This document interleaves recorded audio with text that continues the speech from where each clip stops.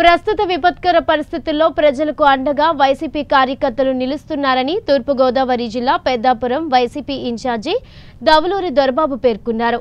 పెద్దాపురం మండలం దివిలి గ్రామంలో బాబ్జీరావు మిత్ర మండలి వైసీపీ నాయకుల ఆధ్వర్యంలో గ్రామ సచివాలయం సిబ్బందికి అంగన్వాడీ ఆశా వర్కర్స్ గ్రామస్తులకు కూరగాయల పంపిణీ కార్యక్రమాన్ని దవలూరి దొరబాబు చేతుల మీదుగా ప్రారంభించారు. ఈ సందర్భంగా దౌలూరి మాట్లాడుతూ కష్టకాలంలో ప్రజలకు సేవ చేయడం హర్షణీయమన్నారు. ఈ కార్యక్రమంలో వైసీపీ జిల్లా నాయకులు నరాలశెట్టి బాబ్జీరావు మాజీ ఎంపీటీసీ నరాలశెట్టి త్రినాథరావు వీరభద్రరావు గుండమల్లి భద్రరావు పంచాయతీ కార్యదర్శి రాజన్ రాజు తదితరులు పాల్గొన్నారు. కార్మికుల దినోత్సవ సందర్భంగా ఈరోజు ఇటువంటి విపత్కర పరిస్థితుల్లో తన ప్రాణాలను కూడా పనంగా పెట్టి పనిచేస్తున్నటువంటి పారిశ్రామిక సిబ్బందికి మిగిలిన కార్మికులందరికీ కూడా హృదయపూర్వకంగా కృతజ్ఞతలు నమస్కారాలు తెలియజేసుకుంటూ ఈరోజు దివిలి గ్రామంలో వైఎస్ఆర్సీపీ నాయకులు బాబ్జీ రఘునాథ్ గారు మరియు మిగిలిన కార్యకర్తలందరూ కూడా కలిసి ఇటువంటి విపత్కర పరిస్థితుల్లో ప్రజలకు అండుగా ఉండాలని చెప్పి ఈరోజు ఇక్కడ ఉన్నటువంటి సచివాలయ సిబ్బందికి పారిశుద్ధ సిబ్బందికి అలాగే ప్రతి గడప గడపకు కూడా ఈరోజు కాయగూడలో మంత్రి కార్యక్రమం చేపట్టడం జరిగింది. అలాగే కొన్ని రోజుల్లో మళ్ళా వాళ్ళకి కావాల్సినటువంటి రేషన్ అన్నీ కూడా ఇవ్వడం జరుగుతుంది. ఇటువంటి పరిస్థితుల్లో ఈరోజు పెద్దాపురం నియోజకవర్గంలో ప్రతి గ్రామంలో కూడా చాలామంది దాతలు ముందుకు వచ్చి ఇటువంటి పరిస్థితుల్లో ప్రజలకు మేము అండగా ఉండాలి అని చాలామంది చాలా మంచి కార్యక్రమాలు చేస్తున్నారు. వాళ్ళందరికీ కూడా మేము కృతజ్ఞతలు తెలియజేసుకుంటూ మీకు తెలుసు మన పెద్దాపురం నియోజకవర్గంలో సామర్లకోట పట్టణంలో నాలుగు కరోనా కేసులు అలాగే పెద్దాపురంలో కూడా మూడు కరోనా కేసులు వచ్చినాయి దానికి కట్టడి చేయడానికి ఆ కరోనా వ్యాప్తి చెందకుండా ఉండడానికి ఇక్కడ ఉన్నటువంటి మున్సిపాలిటీ సిబ్బంది కానీ అలాగే ఆర్టీఓ గారు కానీ మిగిలిన వాళ్ళందరూ కూడా అధికారులు సమన్వయం చేసుకుంటూ అలాగే ఇక్కడ ఉన్నటువంటి మీడియా సిబ్బంది అందరితో సమన్వయం చేసుకుంటూ ఆ వ్యాప్తి చెందకుండా ఈ కరోనాని కట్టడి చేయడానికి చేస్తున్నటువంటి అధికారులందరినీ కూడా మేము ప్రత్యేక కృతజ్ఞతలు తెలియజేసుకుంటున్నాం.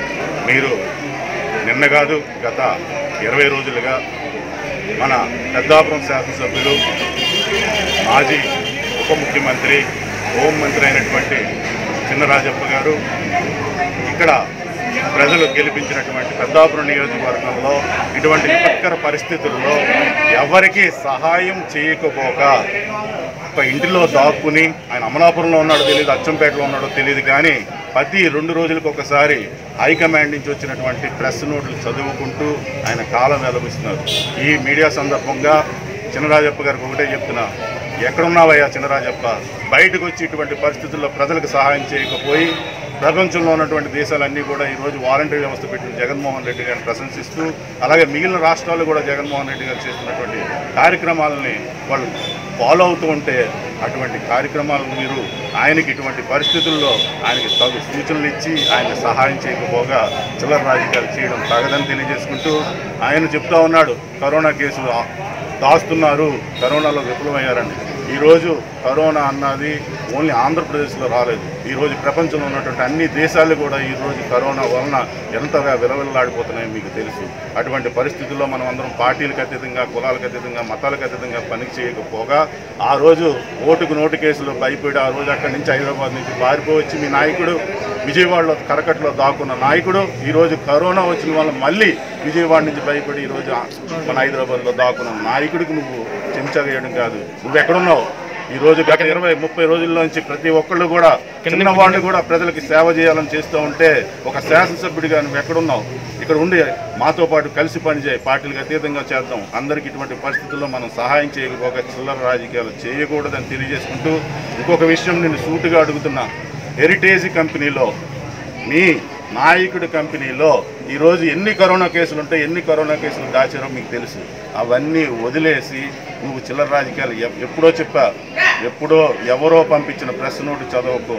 నీతో ఉన్నటువంటి విజ్ఞతతో చదువుని ఇప్పుడు ఇప్పటి నుంచి అడుగుతున్నావు. మళ్ళా ఇంకొకసారి మీడియా సందర్భంగా చిన్నరాజప్పని హెచ్చరిస్తూ నోరు మూసుకోకపోతే తగిన మూల్యం చెల్లిస్తూ అది మాత్రం తెలియజేసుకుంది. ఇటువంటి పరిస్థితుల్లో ఇంకొకసారి మిమ్మల్ని ఈ మీడియా సందర్భంగా అడుగుతున్నా రండి అందరం కలిసి పనిచేద్దాం. ఇటువంటి విపత్కర పరిస్థితుల్లో మనం ప్రజలకు అండగా ఉండవలసిన సమయం.